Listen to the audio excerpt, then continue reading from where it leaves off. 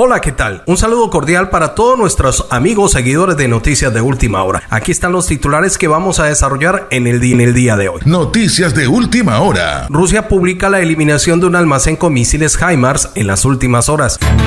Las fuerzas rusas lanzaron varios ataques con misiles contra la región de Odessa según las autoridades ucranianas.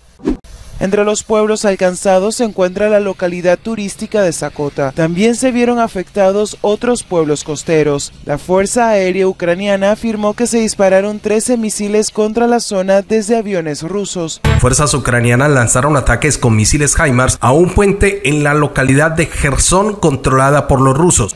Por su parte, Moscú afirmó que los ataques liquidaron un batallón de artillería de las Fuerzas Armadas de Ucrania en la región de Mykolaiv y que las pérdidas de personal y de armamento superaron el 70%.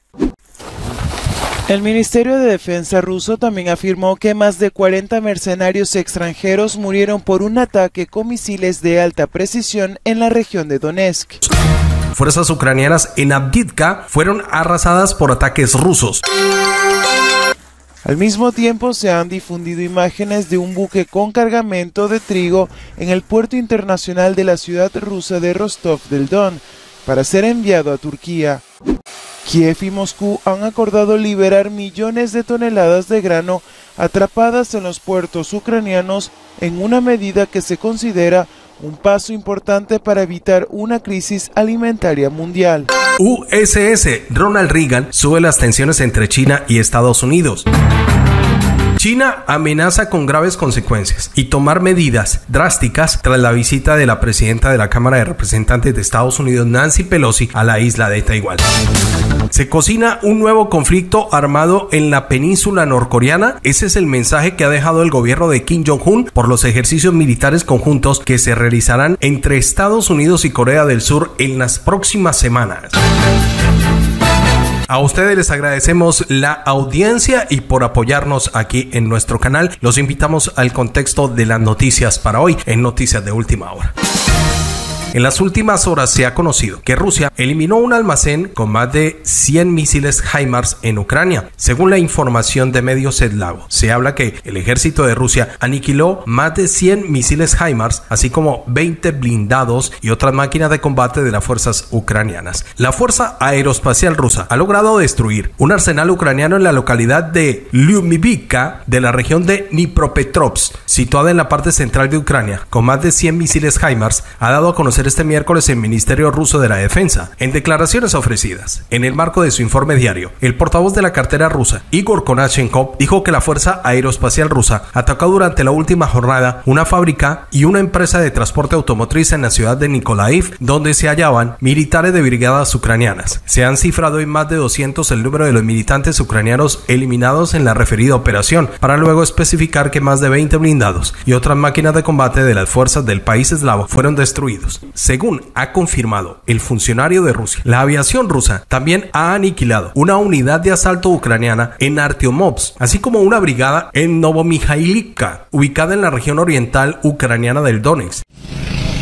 Las fuerzas rusas lanzaron varios ataques con misiles contra la región de Odessa, según las autoridades ucranianas. El vocero castrense ruso también afirmó que las tropas rusas eliminaron el pasado 24 de julio cerca de 120 efectivos, entre ellos mercenarios y especialistas militares extranjeros. Se habla que las fuerzas ucranianas propiciaron en las últimas horas un fuerte ataque con misiles HIMARS en uno de los principales puentes de Gerson, ciudad ucraniana controlada por los rusos, en el conocido puente como el Y han sido repelidos algunos ataques con misiles con los sistemas de defensa aéreos de Rusia. El jefe de la diplomacia rusa, Sergei Lavrov, dijo estar listos en el Kremlin para dialogar con Kiev, declaraciones que hizo en conferencia con el presidente de Uganda en la gira que realiza por el país africano y que está dando declaraciones a los medios internacionales. Pero en las últimas horas mucha atención porque Rusia dijo estar alertando a que China estaría en la lista de los enemigos de Occidente. Declaraciones las hizo el canciller ruso Sergei Lavrov, asegurando que después de Rusia, China será el próximo objetivo de las hostilidades de Occidente. La Organización del Tratado Atlántico Norte, designó a uno de sus enemigos en orden. Rusia es el número uno. China está en el segundo lugar, ha manifestado el canciller ruso Sergei Lavrov desde África. Las declaraciones, como lo decimos, fueron ofrecidas este miércoles en una conferencia de prensa de alto poder en los diplomáticos rusos y africanos, enfatizando que Occidente impone sanciones contra cualquier país que le irrite. De igual manera, el ministro ruso ha lamentado que Occidente viole todos los principios al castigar a los países. Mencioné a China como un país que será el próximo objetivo, aseguró Lavrov. Acusó a los Estados Unidos, el Reino Unido y otros países europeos de obstaculizar el diálogo entre Rusia y Ucrania. Las dos partes del conflicto se encontraron por última vez en marzo. En cuanto al vínculo bilateral con Uganda, Lavrov declaró que Rusia se ha comprometido a apoyar al país africano a desarrollar su sector nuclear de gas y petróleo. Esto mientras que el pasado martes también el alto funcionario ruso había denunciado la política del colonialismo de los países occidentales agregando que de este modo Occidente exige al mundo entero posicionarse a su favor o en contra del resto de los países. Algo para anotar en lo que es la visita de Sergei Lavrov eh, de Rusia a África es que en las horas posteriores de su visita desde la diplomacia norteamericana hicieron muchísima presión para que se hiciera de todo un poco para que se pudiera cancelar la visita del funcionario eslavo a este territorio. Pero la sorpresa fue que le dieron el total espaldarazo por parte de los gobiernos árabes y por parte de los gobiernos que integran el continente em, africano para que el diplomático Sergei Lavrov pudiera realizar su gira. De hecho, pues ya muchos analistas dicen de que esto da un pie a un distanciamiento por parte de la diplomacia africana hacia la diplomacia estadounidense. Un espaldarazo que cuenta bastante de forma positiva porque en esta reunión bilateral pues hay mucho en juego, tanto a nivel comercial, tanto a nivel eh, económico y a nivel de proyectos que lleva Rusia para este continente que ha sido un poco olvidado por parte de Europa y por parte de Estados Unidos. Vamos a continuar con más información. En las últimas horas, cientos de ataques con cohetes y artillería alcanzaron el control militar ucraniano en Avdivka, según Avia.pro. Las posiciones de las tropas ucranianas en la región de Avdivka, región del Donetsk, fueron objeto de numerosos ataques con cañones de artillería, morteros y sistemas de lanzamiento de cohetes múltiples. Según los residentes locales, se habla de varios ataques hacia las posiciones de las Fuerzas Armadas de Ucrania que simplemente fueron arrastradas por los misiles rusos. En las imágenes se pueden ver cómo se llevan numerosos ataques contra las posiciones de las tropas ucranianas utilizando los MLRS, artillería de cañón, morteros y tanques, y el ataque fue extremadamente inesperado para el ejército ucraniano y su base desde la cual infligieron docenas y cientos de ataques en Donetsk casi todos los días. Con certeza fue destruida. Según fuentes eslavas, los aviones de combate también participaron en el ataque a la base militar ucraniana en Avdiivka. En particular, se informan que los helicópteros lanzaron misiles aéreos no guiados. Los lugareños informan que este es uno de los ataques más poderosos contra la base ucraniana en Avdiivka, lo que casi seguramente conducirá al hecho de que la región quedará completamente libre de tropas ucranianas, lo que reducirá la cantidad de ataques contra Donetsk y los asentamientos cercanos.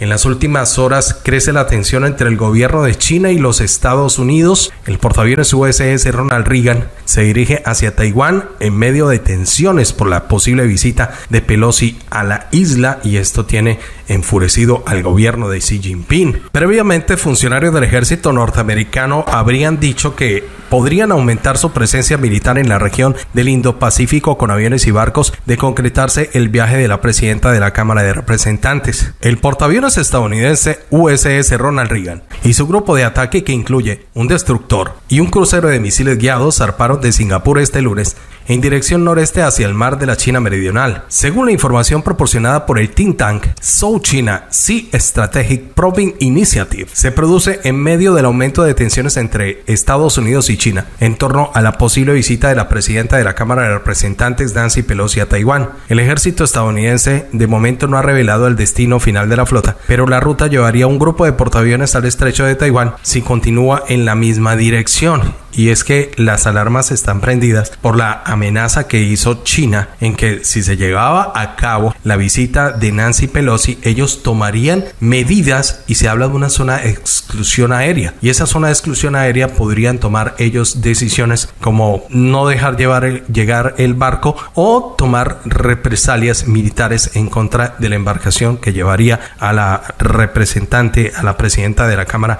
Nancy Pelosi, a Taiwán. Noticias. El ejército chino asegura que la visita de la presidenta de la Cámara de Representantes de Estados Unidos, Nancy Pelosi, a Taiwán podría gravemente en peligro la soberanía e integridad territorial de China. Sería la legisladora estadounidense de rango más alto que visita la isla desde 1997. Eh, previamente, funcionarios del ejército del país norteamericano citados por AP dijeron que de concretarse el viaje de la legisladora podrían aumentar su presencia militar en la región Indo-Pacífico, según las fuentes consultadas por la agencia. Probablemente sea necesario utilizar aviones de combate, barcos y otros sistemas militares para brindar anillos de protección a la comitiva durante su vuelo y la estadía en la isla. La postura de China es que desde el gobierno de Xi Jinping, desde hace pocas horas, específicamente el martes, los militares del país han dicho, como lo venimos diciendo, que no se van a quedar con los brazos cruzados si se realiza la mencionada visita de Pelosi a la isla. Las autoridades chinas de defensa han hecho referencia a declaraciones anteriores del Ministerio de Relaciones Exteriores de China, argumentando que este plan viola gravemente el principio de una sola China que fue establecido por los tres comunicados conjuntos chino-estadounidenses en la década de los 70. Pekín ha manifestado repetidamente su firme oposición al viaje a la isla de la número 3 del gobierno estadounidense, afirmó durante una conferencia de prensa el portavoz ministerial Tan Kefei. En esa misma línea, Zhao Lijian, portavoz del Ministerio de Asuntos Exteriores, habría dicho que el gigante asiático dejó claro reiteradamente su posición frente a este viaje, diciendo que están totalmente preparados para cualquier eventualidad, declarando el vocero e insistió en que si se mantiene en los planes de la visita, la parte china tomará medidas firmes y enérgicas para defender su soberanía y la integridad territorial del país. China advierte del daño que puede ocasionar esta visita en las relaciones bilaterales y que podría llevar a una mayor escalada de las tensiones en el estrecho de Taiwán. Señala que además va en contra del compromiso de Washington de no apoyar la independencia de Taiwán. El ejército chino afirma que tomará medidas firmes. Y muchísima atención porque vamos a cerrar con esta información.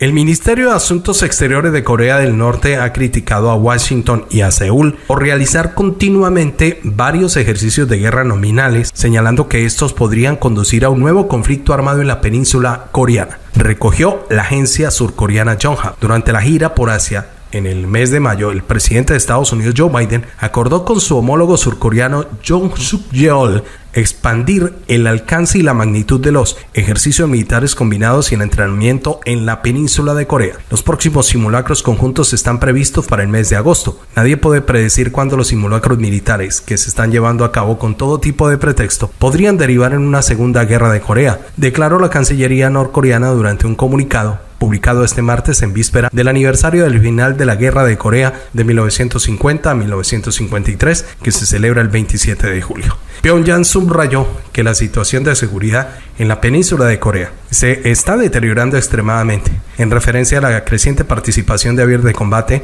F-35 de la Fuerza Aérea Estadounidense en los ejercicios conjuntos con Corea del Sur y las maniobras a gran escala de helicópteros de ataque surcoreanos disparando munición real. Los ejercicios militares conjuntos de Estados Unidos y Corea del Sur, que se están realizando con el paso del tiempo, están desprendiendo un fuerte olor a pólvora, exacerbando la situación en la península de Corea y una grave amenaza para la seguridad de el noreste de Asia, manifestó el ministerio. El ejército militar conjunto entre Estados Unidos y sus seguidores es uno de los factores básicos que hacen que la situación de la península de Corea se deteriore, añadió. Además, el Ministerio de Exteriores norcoreano calificó en un artículo separado a Estados Unidos de ser el reino de la piratería más grande del mundo y un estado cibercriminal sin precedentes. Pyongyang advierte en varias ocasiones que Estados Unidos y Corea del Sur se enfrentarán a consecuencias no deseadas en caso de una mayor escalada de las tensiones con Corea del Norte.